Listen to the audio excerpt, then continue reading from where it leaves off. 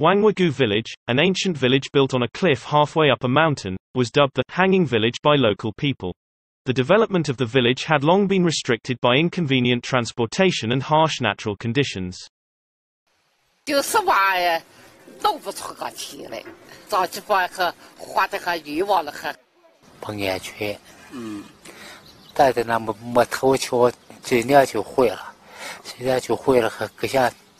掉牲口了。但今年搁下为人们养的猪，猪经常搁内地掉了，就猪还骡子，人也搁下掉了。 Thanks to China's poverty alleviation efforts, the village have undergone dramatic changes within the past decade.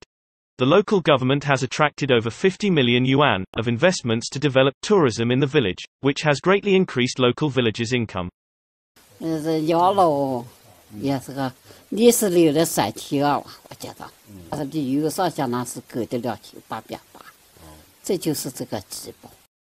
In 2019, all the impoverished households in Wanghuagou village were lifted out of poverty.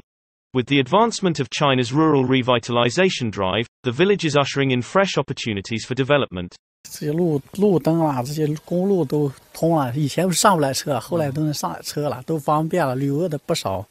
回来开上开了也挺好的，生意也挺不错的，挺好的，翻差不翻一倍嘛。所有的饭店肯定越来越好。